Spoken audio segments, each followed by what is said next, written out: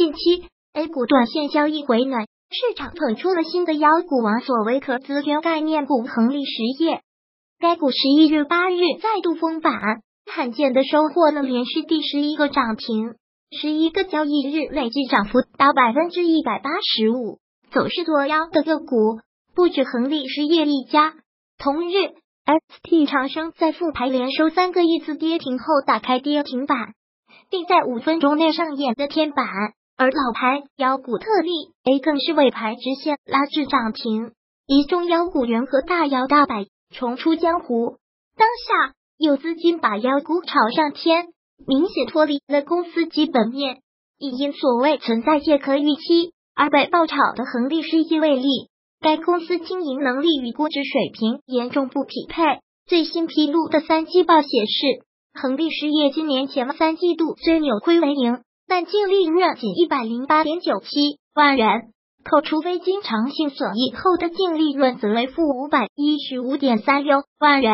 又如 ST 掌盛重大违法叠加，基本面恶化，随时面临退市风险。继续以恒力实业为例，其借壳重组预期一旦落空，投资者将面临巨亏风险。游资拉高这些妖股的股价后，最终还是要有人来买单。从交易数据看。游资围博短期收益而击鼓传花，普通投资者若盲目跟风高位接盘，遭受损失将是大概率事件。有一种市场观点认为，妖股、可股回暖是优化交易监管，在交易环节减少不必要的干预的监管新动向，为游资炒作打开了空间，体现了投资者用真金白银在增加市场交易活力。但在记者看来，这一观点似乎对监管传达的信息有所曲解。辩证的看，不管是投机还是投资，增加市场活力就是允许各方在合法合规的范围内自由交易，是为了更有效率的发现价格和挖掘价值。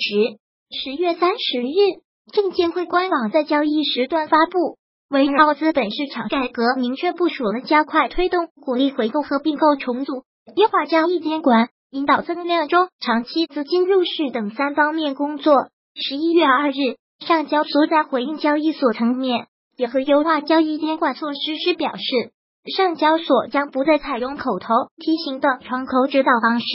严格慎用暂停账户交易等监管措施，同时对过度投机炒作等严重扰乱市场秩序的行为，主要以向会员单位发送风险提示函的形式。间接向投资者提示二级市场交易风险。应该看到的是，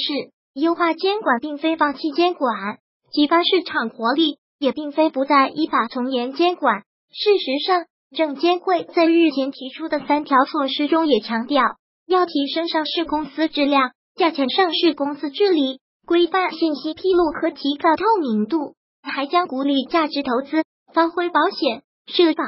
各类证券投资基金。和资管产品等机构投资者的作用。上交所在优化监管方式的过程中，对明显涉嫌市场操纵等违法违规行为，也会在始终及时采取自律监管措施，并及时向证监会上报案件线索，同时加强市场监测分析，密切关注市场情绪，建立并完善适应市场形势变化的动态监管机制。从这个层面来说。过度投机者不应心存侥幸。一个新鲜的例子可以成为佐证。就在十一月八日，亨利实业继续涨停的第十一个交易日，深交所向其下发了关注函，要求公司说明是否存在因披露而未披露的重大信息，公司基本面是否发生重大变化，是否存在违反公平披露原则的事项，以及是否存在涉嫌内幕交易情形等。监管传递的信号是，市场并非不可投机，但投机应该从市场价格波动中赚取价差，而不是恶意制造价差来割一波韭菜。从过去的监管案例看，对恒力实业这种基本面没有明显改善、纯属市场投机炒作的股票，一旦发现违规交易行为，交易所将从严监管，这是毋庸置疑的。本文源自上海证券报，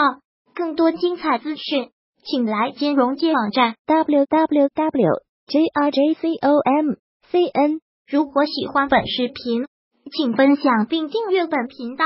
别忘了按赞哦！哎呦！